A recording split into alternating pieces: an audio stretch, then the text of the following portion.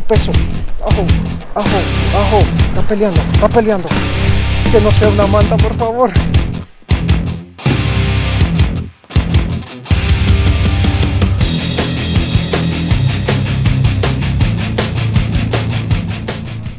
Eh, les quiero mostrar más o menos el punto de pesca. En ese caso ya está la el flamenco dry stack. Aquí van a ver un pequeño rompeolas. Eh, no recuerdo el nombre de eso allá, pero eso, eso se ve en la vía principal, ah, casi, casi llegando a Flamenco. Así que pasan aquí y aquí tienen el punto de pesca. Así que bueno, mi gente, seguimos pescando. Recuerda suscribirte. Nuevo combo, me pedían especificaciones de mi combo. Bueno, se las traigo en estos momentos.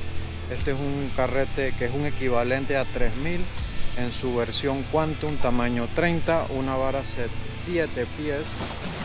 Eh, aquí tenemos las especificaciones.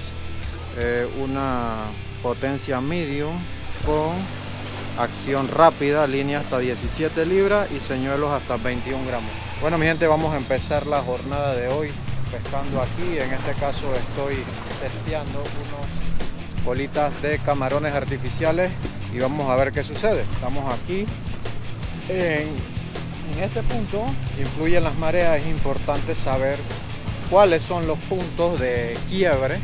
En este caso la marea ya llegó a su máximo nivel, estamos aproximadamente, eh, son, vamos camino a las 10 de la mañana, a las 9 llegó a tope, o sea que en ese caso ya está empezando a bajar.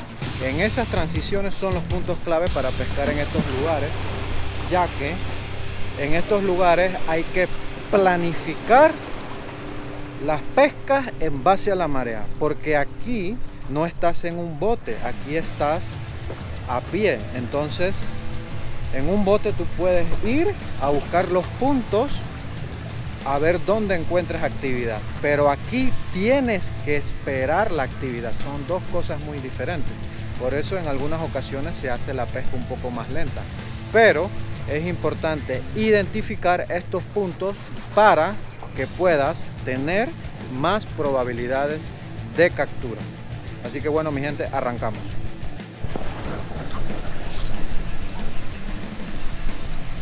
Bien, vamos aquí al hacer unos lances aquí al fondo y vamos a ver si tenemos movimiento. En esta ocasión estamos estrenando nuevo equipo, estrenando nuevo equipo, así que en este caso, la, técnica de, de, camarón, todo el mundo tiene un estilo, digamos, ya en común. Yo lo que le puedo asegurar, en este caso, esto es una vara 7 pies, lo que yo hago es como para tener mayor control y mejor acción, yo agarro en, en el caso de camarón, agarro la caña por delante y simplemente le doy acción al camarón y acá con esta mano simplemente recojo. Importante que identifiquen eh, cuando el camarón toca fondo. La clave de esta técnica es que toque fondo y provocar pequeños saltos al camarón para que imite a una carnada o al camarón huyendo. Así que seguimos aquí y... ¡Oh! ¡Pego, pego, pego! ¡Oh! Pescado en la línea. Bueno, mi gente, estamos aquí en el Causeway y che, ojalá no se meta en la piedra. Ojalá no se meta en la piedra. No se meta en la piedra. Que no se meta en la piedra. Tiene buen peso. Ajo, ajo, ajo. Está peleando, está peleando. Ya está en orilla un poco más difícil. Ajo, está serio. Está serio. Que no se me vaya. Que no sea una manta, por favor. Bueno, mi gente, estamos aquí en el Causeway. La piedra, no, la piedra. Que no roce con la piedra. Que no roce con la piedra. Vamos a movernos acá rápidamente. Uno. Me pedían programa en el Causeway. Aquí lo tenemos, mi gente. Aquí lo tenemos. Aquí lo tenemos. Aquí lo tenemos. Vamos a ver. Bueno, mi gente, una vez más, bienvenidos a mi canal de YouTube Toto Fishing. una bienvenida y miren lo que acabamos de sacar, no sé qué, pero tenemos algo en la línea. ¡Ay, ay, ay! ¡Captura, mi gente! Y estamos pescando desde el Cosway. Y tenemos aquí este, lo único que le puedo decir a este pescado es que es de coral. Es un pez que vive pegado a las piedras. Estamos aquí, como lo ven, pescando en el Cosway. Y bueno, en esta ocasión estoy en el test de unos camarones. Y como lo pueden ver,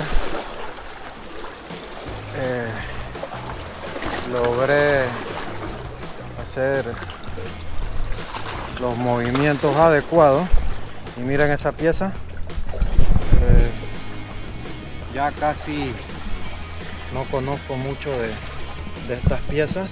Eh, este es un camaroncito que, bueno déjenme en los comentarios si les gustaría que trajera camarones.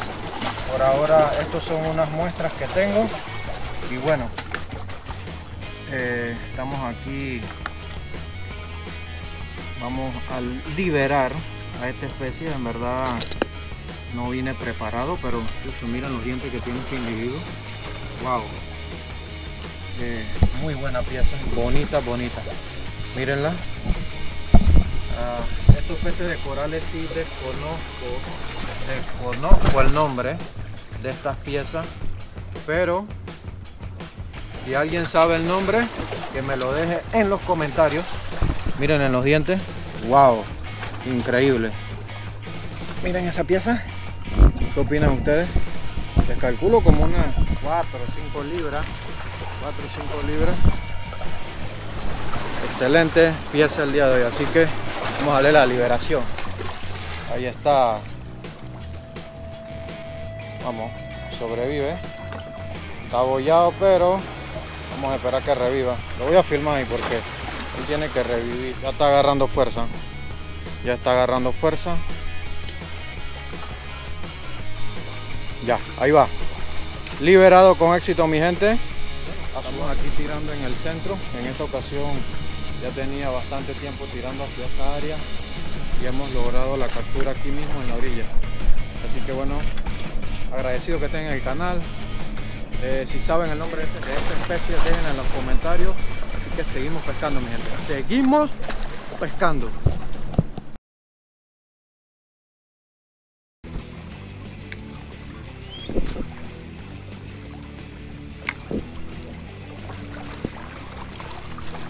Este es el lance, mi gente, que les comentaba. Paralelo a la orilla, al lado. Y ve, ya pegó, ya pegó. Bien, mi gente. Tenemos una captura ojo de amador. Esto es Cowboy de Amador, mi gente. Me pedían pesca en esta área. Aquí estamos. Tenemos un merito, un pequeño merito, mi gente. Eh, una de las de las recomendaciones que les puedo dar cuando vienen a este lugar tiren paralelo a la orilla estos peces van a salir desde las piedras y van a atacar los señuelos así que Vamos a darle la liberación a esta pieza y como ustedes saben seguimos pescando.